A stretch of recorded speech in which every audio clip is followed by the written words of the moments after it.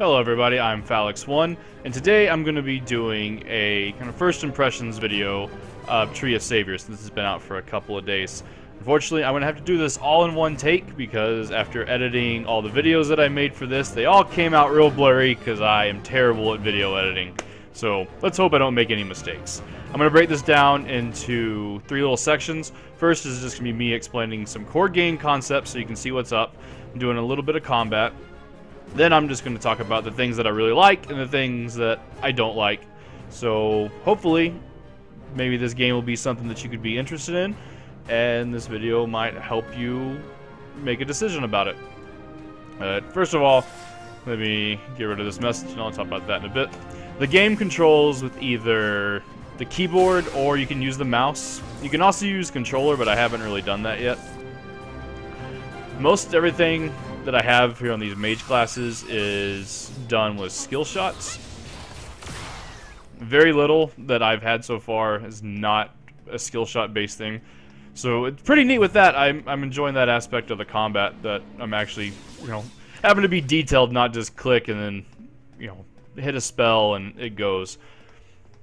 I'm to go and grab some mobs on another floor and show you some of the, the combat as things go up. And also, you're to notice some FPS drops. That's one of my complaints with the game right now is the game is not very well optimized and there's a fair bit of lag with the servers. But I'll get into that later. The class that I am right now is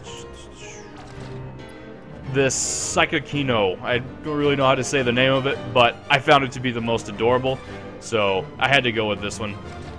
Let's throw up an adorable little emote while I'm explaining this. Uh, right there. I started off as a wizard, and after I hit 15 of my class levels, you get to do an advancement. And whether you start off as like the melee class, the the warrior, you have like knights and lancers and like barbarians and all kinds of different of like the tanky, hard-hitting melee classes to go down that line. Cleric goes through the healer classes, and just were a priest and you know, your your battle healer type things. Wizard, typical, going through all your spellcasters and crowd control people. And you also have Archer, who goes into things like rogues and hunters and your, your fast hitting melee classes, your dexterity based classes. I started off as Wizard. After I hit 15 on my class, I changed to Cryomancer. Uh, I had to choose 15 skills for Wizard, then do a little quest, and I was able to change to a Cryomancer. The Cryomancer uses spells that are all ice-based, I'm going to give them the name, sort of crowd control for the most part. And once I hit 15 on that, I could have gone further into Cryomancer, or I could have gone further into Wizard, but I chose not to, because I wanted to go to the Psychic class. The Psychic class, this gives me some more crowd control stuff, a channeled ability, as well as teleportation. And once I hit 15 on this, I'm going to go further into the Psycho class, but I could actually change into a fourth class or change back to Cryomancer or Wizard. The game is very dynamic with that, and it's one of the biggest things that I like, is that there is, you know, nothing is set in stone. You can play however you want.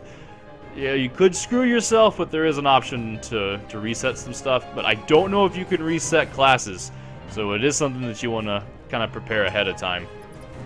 All the stats are given at one point every time you level up, and you can put one in it.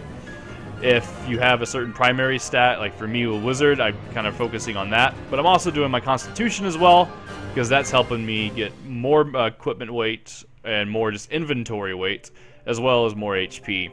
Spirit increases my maximum SP, which, as a wizard, I am noticing I am burning through that stat. I don't know if I'm just casting spells too much, or if that's just how they intended it to be, that you're gonna burn through your abilities.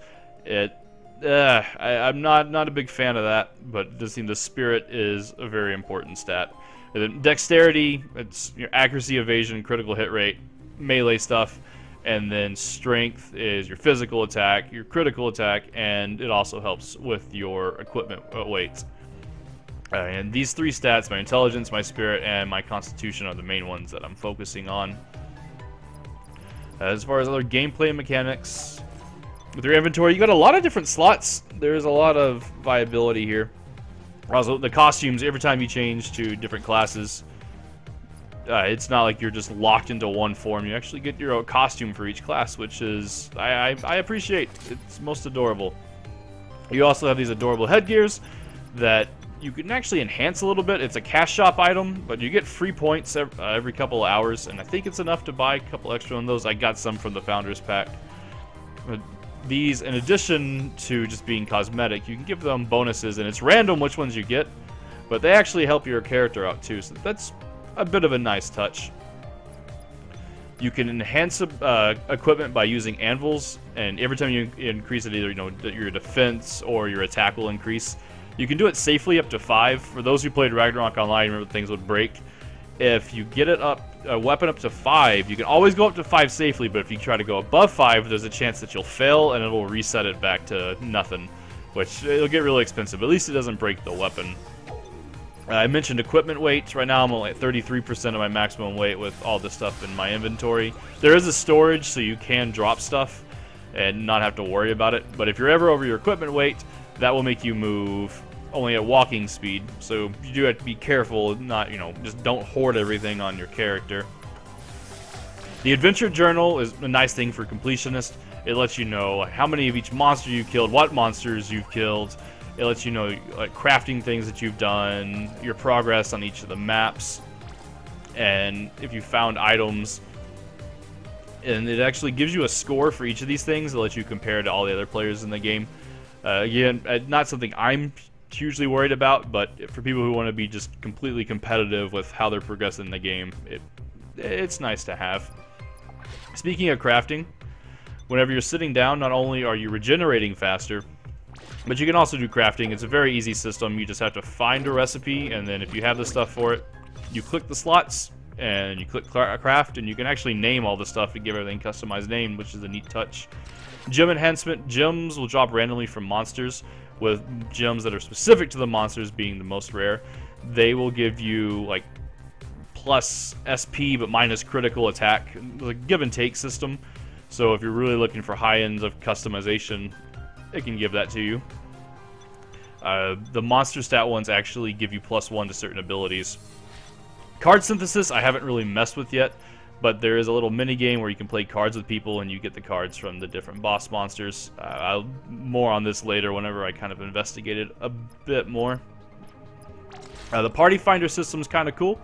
You, if you're near party members, you can see you know what kind of parties there are, and you can try and join them when they're nearby makes it a little bit easier. There's also a search function, and can let you know if there's any parties that are actively recruiting anywhere, so you can just join them from this one handy menu. The macros, this all just goes through your emotes. Oops, I turned on my number pad. The emotes are the most adorable things in the world. And there's some premium ones that I don't have, so I don't have a premium account. But I've I greatly appreciate these. They're probably some of the best emotes that I've seen in a sprite-based MMO. Glad they're not just like little speech bubbles. You can set these little macros to actually have it do a text command as well as a gesture at the same time. I think the heart's the best. The collection stuff is a way that you have certain rare drops from enemies and you're able to go to an NPC and turn them all in and you get a permanent stat boost from them. I haven't completed one yet, but I'm gonna go back to one of the earlier areas and do that just so I can have that done. Uh, other than that, since I have to having to redo all this, uh, mechanic-wise, nothing else to really. Oh, the channel system. Uh, since there's only a couple of servers, it's really nice that they did do this channel-based. Uh, the game is all just every map is instance based and you can swap channels if one's too crowded. And also if you're farming like a certain room that has a lot of spawns you can clear the room out swap channels and kill all the spawns and swap to another channel do it again and not have to wait for respawns. It's uh, pretty handy and I'm sure that as the as the population stabilizes and the other servers come up that there'll probably be a little bit less channels to go about. But right now it's really helping especially with the server congestion and I guess that is really all as far as just mechanics to talk about. Let's go do a little bit of combat so you can see what that looks. Hopefully won't be any people in here, so I can just do a pretty good mob and mess around for a few minutes. Can't spend too long on it because I can't edit the video. I will. I will get that fixed. I, I don't understand. This is the first video I had that was having issues. Anytime I put into Windows Media Player, it just it came out super blurry, even though the base file was 100% fine. All right, here we go. All right, these things are all uh, lower than me.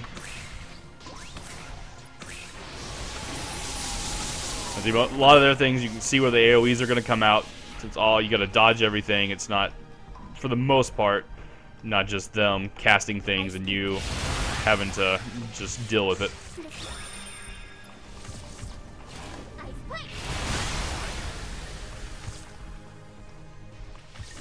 But it's fast-paced combat. I do really like it.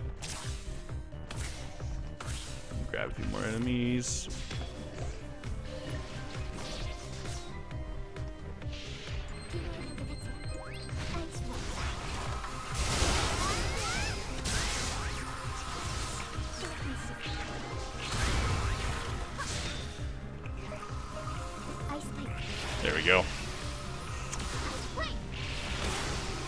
And see, even though I've now changed the Psychic class... Ooh, treasure chest. I'm still using a lot of my Cryomancer skills. Uh, pretty beneficial that as you're building through your levels, that you actually want to get skills that are going to help you in the long run. Just because I'm not a Cryomancer anymore doesn't mean I'm not going to use Cryomancer skills. My Cryomancer skills are my bread and butter at the moment.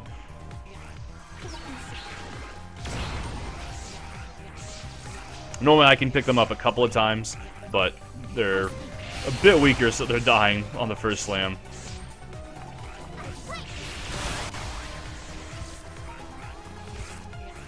Grab that, probably a turn in.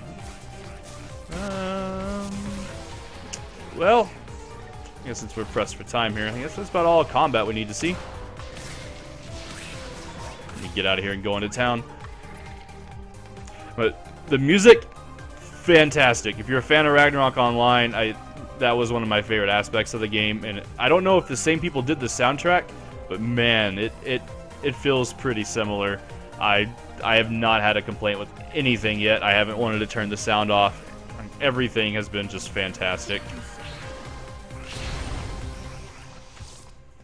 And even the sound effects and the voices too, they're all they're all quite well done nothing's become overly annoying yet.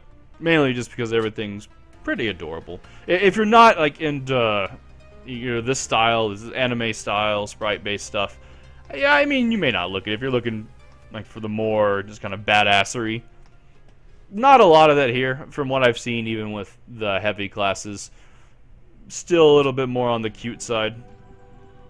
You can see here these like adorable little onions a fight. And the game has a good travel system. It's it does cost a little bit of money, but like most modern MMOs, you can teleport around. I'm actually going to walk to one of the teleport stones. There was one closer, but I figured I'd just come out here, just show some of the environment. But you can teleport from anywhere if you have a cash shop item. It's it's cheap enough that your free cash shop points, you can get them with that.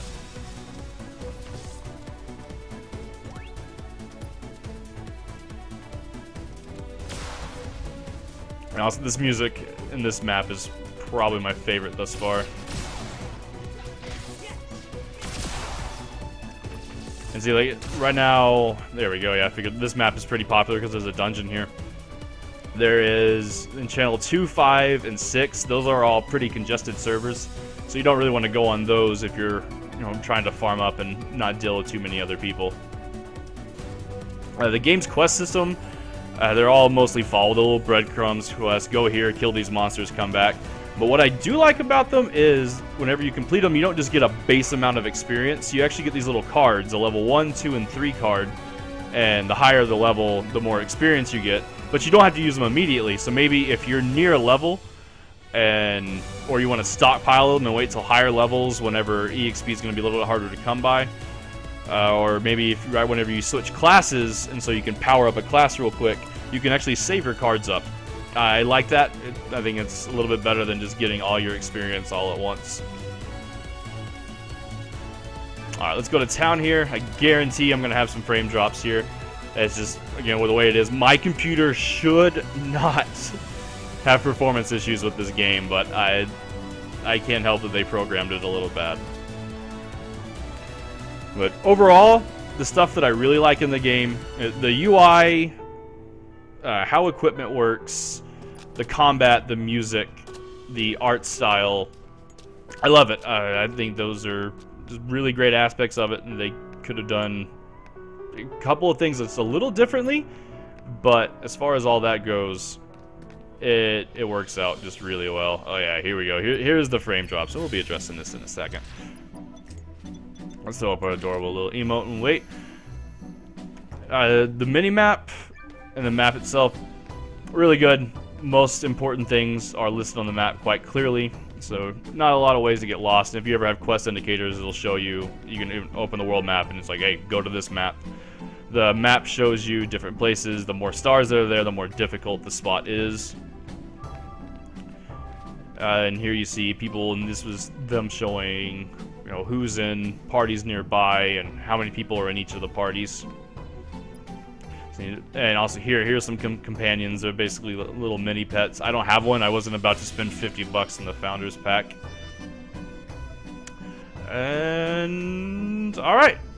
I think I covered most of the good stuff while we were doing some combat. So let's get to the negative. The number one thing that I don't like.